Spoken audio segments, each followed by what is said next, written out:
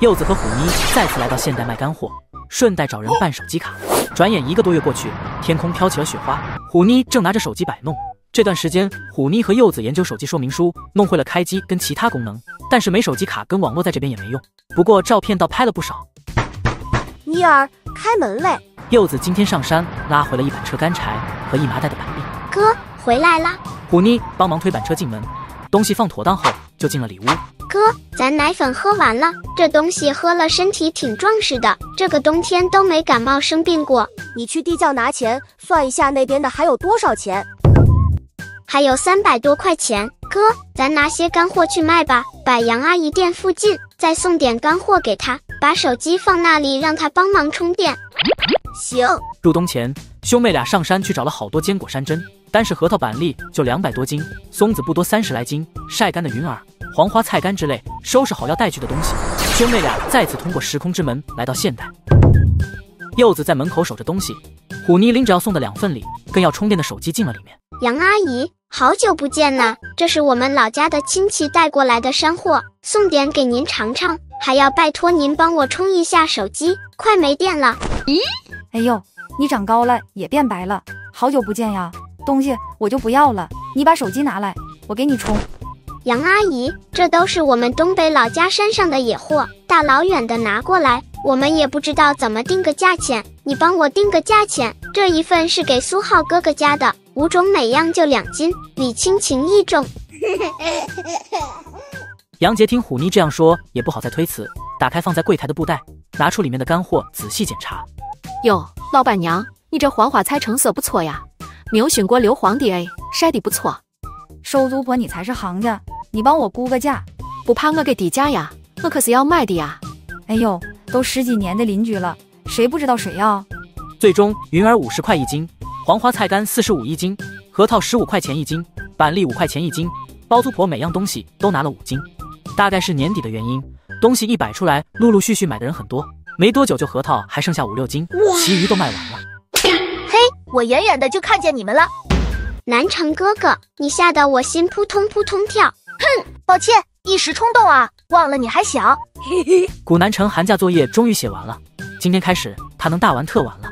柚子，你们那里放寒假了，有没有要上兴趣班呀？嗯？什么？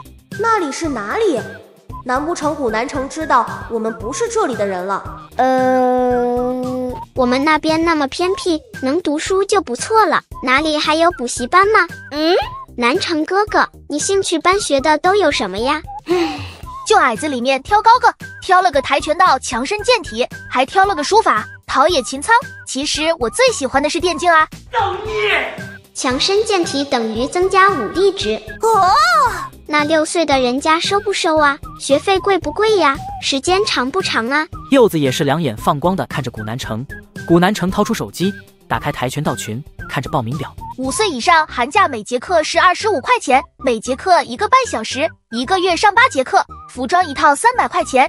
得找教练买这个兴趣班，每年只开寒暑假，是我们学校的体育老师开的。我们两个八节课就得一千块钱了，学习的机会不多，也不知道要不要身份信息。嗯，可是我们长辈很忙啊，没大人带着能不能给报名啊？我们还小，也没有办身份证啊，也不用大人带着，有个联系方式就行了，把你们拉进群里，能回消息就行。兄妹俩对视一眼，不巧有手机没卡。